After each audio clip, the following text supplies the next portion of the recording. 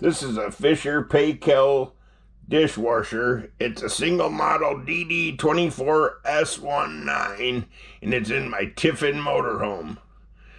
It's a Fisher and Paykel dishwasher. I'm going to show you how to operate it. When you open it up, you choose a wash cycle. We're going to choose heavy.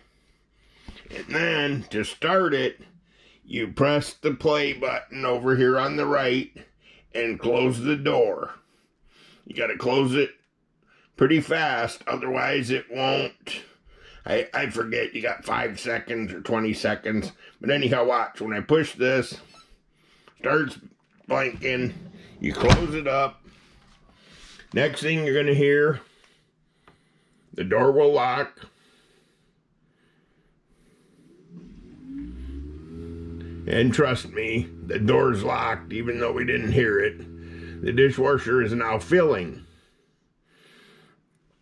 So I see a lot of questions in the forum. Uh, here's how you pause it. I'll show you that the door's locked. It will not open. You would yank that door right off of there. So don't even try it when it's running. But here's how you pause it or stop it two knocks on the door. It actually beeped. You can't hear it because it's inside the cabinet. So now, you see the water in it, and it quit washing. Now here's how you cancel it and get it to drain. This will be um, good for winterizing people so you don't have to wait for the whole cycle. See this play button right here? You push and hold that until there's no lights on. Hold it. See how the lights went out? You close it. It is now going to drain. Guarantee you. Hear it going. No lights lit. Close the door. It's going to drain the water out. I can hear it draining, and you probably can too. When it's running, the door's locked, so don't try to open it. You will break the door.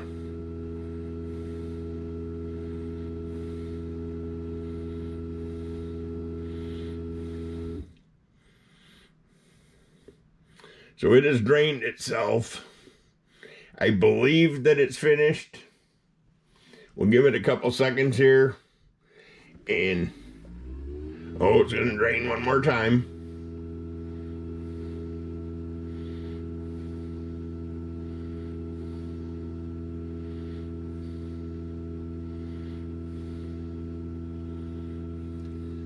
Second drain.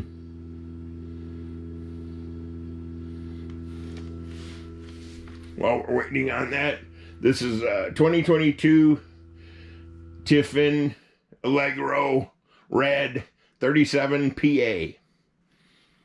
That should have been the final, finalness of the dishwasher.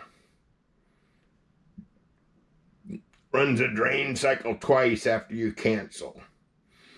The door will not open when it's working, so let's see if it opens. Voila! She's done. Set to the last cycle I ran, which is heavy. So that's my video. I hope you enjoyed it. I'm going to make a couple more. Have a great day.